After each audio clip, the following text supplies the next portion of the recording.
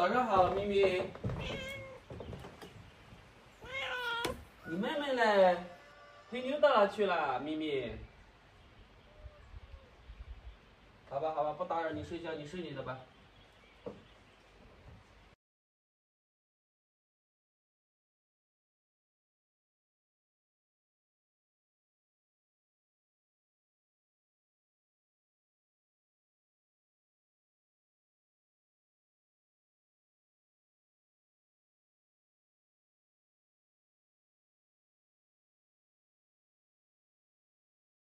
今天一回来就下雨了。大家好，我是志刚，在这里跟大家拜个年。呃，本来就是昨天回来了，但是昨天在村里有点事啊，所以今天才开始更新视频。呃，那从今天开始更新了，没有其他特别的事情，基本上不会断更。呃，那今年的视频主题和去年一样，呃，也就是真实记录我的山里生活日常。呃，过年这几天因为有一些事情，也没能出去玩。呃，大伯的话，过年这几天在这里。那位叫阿布的有事，呃，他到县城去了。呃，旺财大伯这几天都在找，呃，没有找到，那基本上是凶多吉少了。其实，在大山里面生活啊，呃，折损几只狗是很正常的，特别是到夏天的时候。呃，我估计到夏天还会折损，嗯，这个是必然的啊，避免不了的，因为夏天我们这边毒蛇实在太多了。呃，另外的话，今天，嗯，大伯可能不能过来啊，因为村里大伯说啊，腊肉啊、香肠啊那些，他要去翻一下面。嗯，今天是熏制腊肉的第九天，那我们现在上去看一下腊肉这几天大伯熏制的怎么样了。小白，早上好，小白。小六、小七、老六，下来，老六。快点，快点！你们两个小不点，快点，快点！你个老六，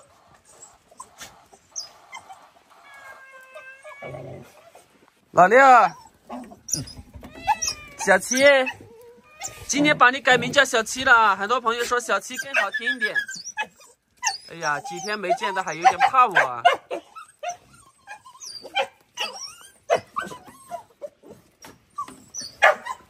来，出来，出来！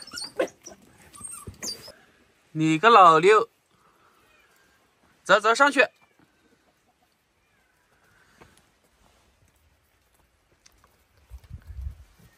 走吧，走吧，上去吧。不，不许欺负他啊！看一下，哎，昨天晚上在这里，今天还在这里，那就是抱窝了。出去，挺凶啊！待宰的、抱窝的都挺凶。我看有几只蛋，应该是抱窝了啊！才四枚蛋你就抱窝了，别抱窝了啊！抱窝了不安全啊！带了小鸡又是帮野生动物养，出去玩嘛啊！享受生活去，快去！把鸡蛋取了吧，它没鸡蛋呢，基本上不会抱窝。好暖和。这个有三枚，一个春节期间就产了三枚蛋，那就把这几枚蛋取了吧。呃，到时候要养就养肉鸡，关起来养的那种。小伙，你淋雨啊？躲雨去嘛。老六，你和小七进去，到狗窝里面去。今天是熏制腊肉的第九天，这个成色看起来熏制的很不错。呃，大伯这些天啊都是住在这里熏制，呃，争取在元宵节左右把它上架。呃，猪头、猪脚、腊肠、大肠、猪胃等等这些的话，熏制的时间要稍微久一点，那就是在腊肉上架之后，嗯，也要不了几天吧，也就可以上架了。呃，争取不要把它熏得太干。如果熏得太干了，一部分老年朋友啊就反馈第一批、第二批腊肉的话，他说瘦肉吃不动。呃，那到时候的话，干湿适合那个样子就可以。那现在就开始熏，去拿柴火。你在这里干嘛，小伙？这外面下雨嘛，你到狗窝里面去嘛，啊，小伙。去嘛，对对对，到狗窝去。下面那个岩洞是非常暖和的。外面的雨越下越大了。这种是大伯春节期间到茶园里面找的茶树材，呃，就是喝茶的茶啊。这种是油茶的茶，呃，其实这种茶树材熏制腊肉也非常的不错，呃，只是要那么多自然干枯的那种茶树材，呃，就很难找。这种干了只能当引火，呃，如果说是生的话，它这种熏制起来非常不错。朋友建议我用炭火熏，他说工厂化的一般都是用炭火。嗯，我不用炭火熏的原因就是一我没熏过，我不知道熏出来会怎么样。第二，呃，也是最主要的一点，我不想脱离我们湘西腊肉的口味。我们这边都是用茶树采。如果就算用炭火熏的更好，嗯，当然那不同的柴火熏制出来腊肉口味都不一样，那就脱离我们这边湘西腊肉原有的口味了。这种干了的茶树材还是很容易燃的。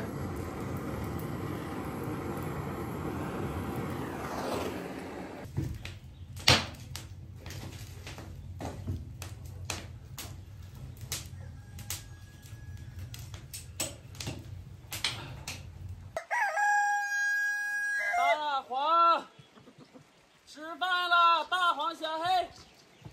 哇，你们都走走，吃饭吃饭，来来来来，来吧来吧，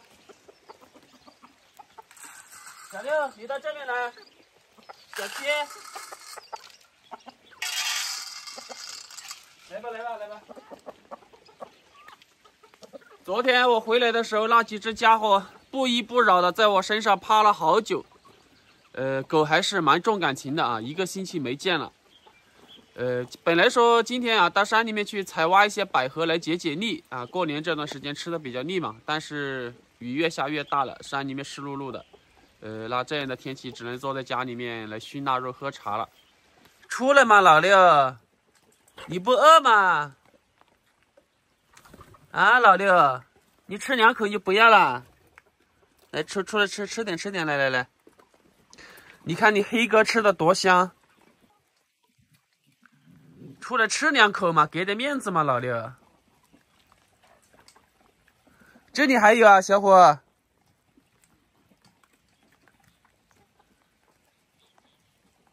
哇，这下的是冻雨还是雨啊？一下雨了，山里面非常的冻。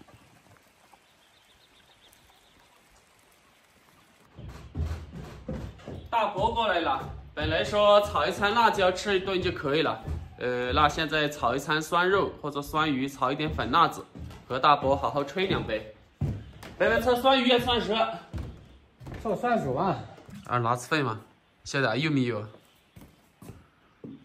这都是无氧发酵的，做了两三个月了。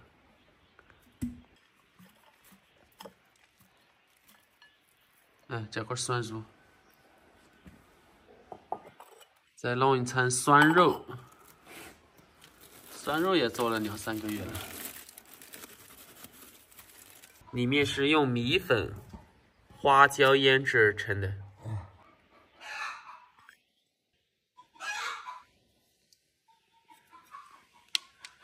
这样吃起来又酸又香。走，我们上去。你还在这里抱我？两三天，了自己就会走了。走走走，往上去。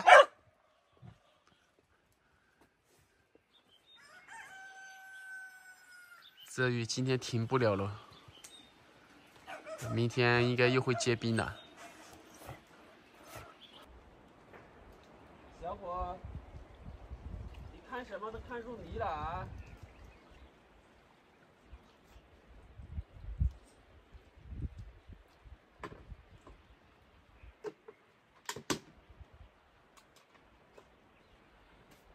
这些天都是在吃辣货，呃，今天的话就炒一餐粉辣子和酸肉，嗯，那看一下我们这边的粉辣子和酸肉怎么做吧。等天气好了，到山里面去采摘、采挖一下山货来解解腻。先下粉辣子，这个就是辣椒里面包的面粉。大黄，你要不要出去一下啊？出去一下嘛，出去嘛！我担心你那个毛啊，等一下到锅里面去了，去嘛啊！出出去嘛！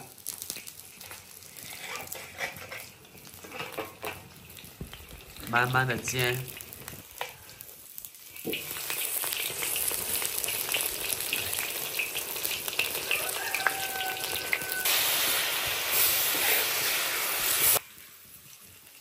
起锅。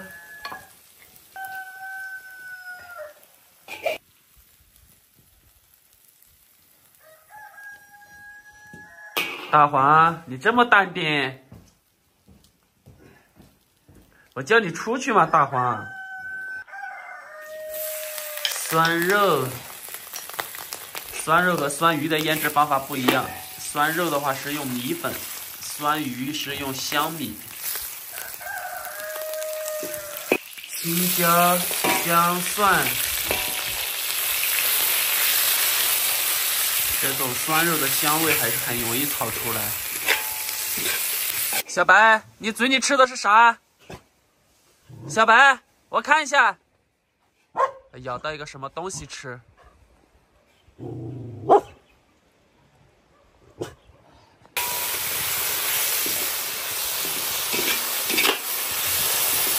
这样炒的焦焦的，吃起来又酸又香。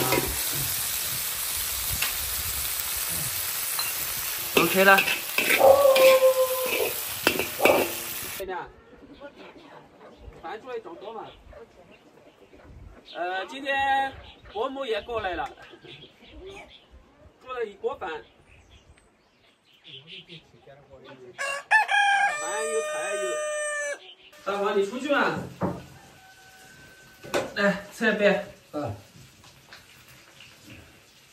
我的杯子在下面，我不经常喝白酒，所以用一次性杯代替。先吃一块酸肉，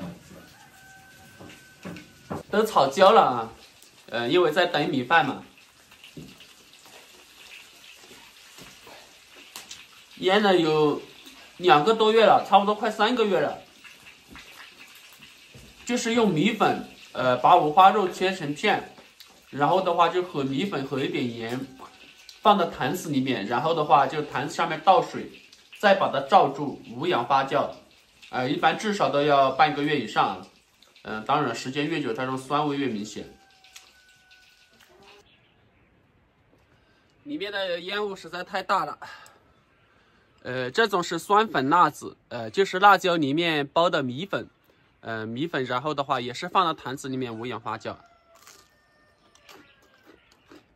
嗯，这个是比较久了啊，差不多都三个多月了，吃起来还脆脆的，很香。很多朋友都说我们这边的饮食习惯不健康，嗯，什么都是喜欢在坛子里面的酸菜啊、酸鱼、酸肉啊。呃，腊肉、腊制品啊，呃，每个地方它的饮食习惯都不一样。嗯，我这种的话，我们这边都吃习惯了。如果说没有这些呃腌制品啊、熏制品的话，我们这边的人 可能还不知道生活怎么过了。你像我从小吃到大，你像大博士从小吃到老，啊，我们这边都是这样的。像这种酸辣椒，呃，不是。辣椒和酸肉啊，这个辣椒在里面煮了，都是一种酸肉的味道。收鸡蛋。下面我那个的，我觉得啊，底下那个，呃，就是我底下那个面孔了。哦。大伯说下面的岩洞里面，大伯鸡蛋已经收了，还说收了不少。那现在我们看到下面能收多少鸡蛋？产了不少了。这里大黄他们是够不着啊。那下去把它取了，一，刚好十枚蛋，留了一个引窝蛋，这蛋颜色、形状各不相同。那再到房间下面去找。这个还有三枚鸡蛋没取。哎，那只黑色母鸡不是抱？我看样子不是，警惕性强，应该是产蛋的。你还在这里抱我？鸡蛋都没有了。那你抱吧，抱吧。还有这个上面，老是滚鸡蛋下来。那现在看一下有多少枚。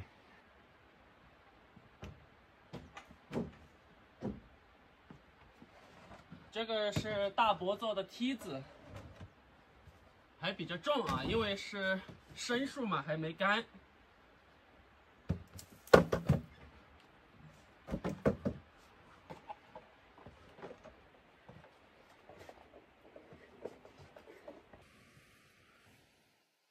你在抱窝还是在产蛋？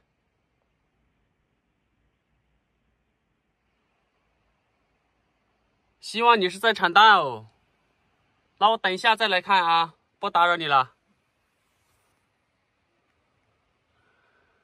这山里面肯定还有好几窝鸡蛋啊，只是找不到。呃，拉到房子下面去找一下。这样的天气，你看出勤这么积极。脚上还带有橘黄色的花粉，嗯，因为现在春桂啊正在大流蜜，春桂蜜和冬桂蜜一样，非常的香。哎，这个产蛋我好像废弃了。这下面有鸡粪的原因就是鸡晚上是住在这个树上面，嗯，为了躲避野生动物吧。好久没数鸡了啊。嗯，大伯春节的时候数了一下，还有十六只，大大小小一起十六只。那到时候这几间鸡舍的话，就全部用于养肉鸡了，关起来养。大伯说的产蛋窝是这个位置。大伯说收了一小盆。那我们现在去看三棵杉木树脚下，嗯，那里好像有两只母鸡产蛋，包括十七。哇，没有哎！这个产蛋我好像也废弃了，还是产蛋母鸡被野生动物吃了？这里有一只母鸡在产蛋，那我从这里爬上去会不会惊吓到它？眼睛睁大了，嗯，算了吧，等它产蛋完再到那里边去看。这附近找一下。看还能不能找到一窝两窝鸡蛋的？好久不见，一百五十二，帮忙找鸡蛋好不好？好漂亮，来的这么巧吗？应该在里面产蛋，快出来，快出来！跳下来就要咕哒咕哒叫了。好。那先去别的地方找一下，都喜欢在这些岩石缝里面产蛋。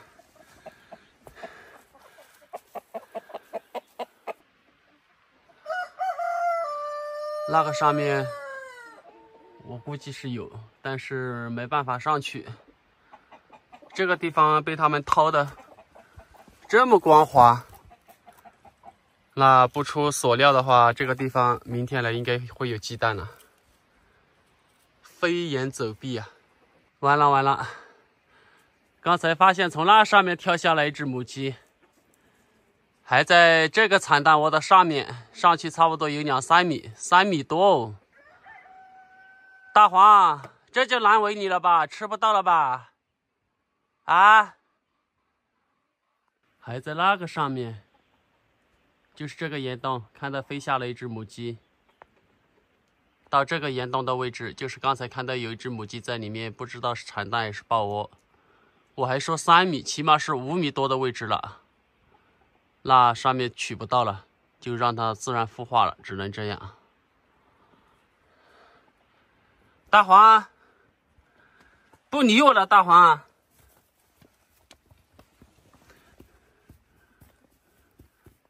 好，行行行行行。啊你守家啊之前你不是好好的吗？是吧？他们出去玩了你守家吗？是不是？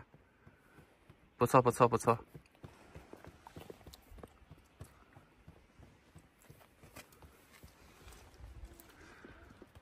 他们都到山里面去了也没在上面烤房。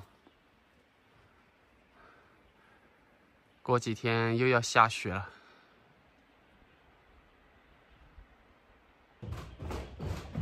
收了九枚鸡蛋，在一个产蛋窝里面收的。这个应该是个双黄蛋啊。呃，大伯春节期间就在下面这个小岩洞里面收获了一小盆。呃，对于爱吃鸡蛋的我来说，养几只母鸡啊，完全能够实现吃鸡蛋自由。呃，另外大伯他说春节期间，黑妞的话整天不着家，回来了吃一点猫粮也是马上跑了。大伯想抓它都抓不住。嗯，看来猫啊还是不像狗一样那么自然熟。嗯，我回来了之后，今天在家里，黑妞就和咪咪在这里睡得很暖和，我怎么摸啊，它都是很配合。呃，也有的朋友建议我再去买一只猫，嗯，他说他很喜欢看猫。嗯，本来我也打算买一只三花猫或者橘猫的，后来想一下还是不买了吧。呃，因为第一，嗯，马上春天了啊，大山里面到时候各种鸟窝，我估计猫多了可能会去吃鸟蛋。第一个，第二个，黑妞是母猫嘛，到时候也会生小猫的。呃，另外大黄的话，春节期间也发情了，而且这次持续的时间比较长啊，应该可能到时候会怀孕啊，怀孕了，到时候生的小狗也全部把它养起来。啊，狗养多一点应该没问题。好，那就分享到这里，明天见。